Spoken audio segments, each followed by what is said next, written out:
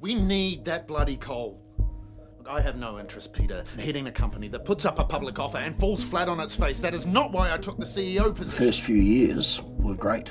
Did lots of great training initiatives, lots of development. Behre Dolbear has given the projections their tick. Yes, I, I have read the We analysis. can but- do it. Jeez, we have to. We float next month. But then a, a, a series of setbacks began to occur and it started to come unstuck.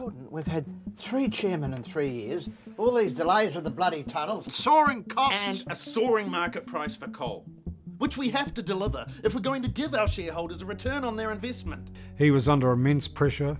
The stock market was um, saying that the uh, price of their shares were dropping. Instead of doing the logical thing, which was to take a pause and to reconsider what's going on, because a lot of us didn't understand, we came under pressure to opening the mine All right, and going into full production.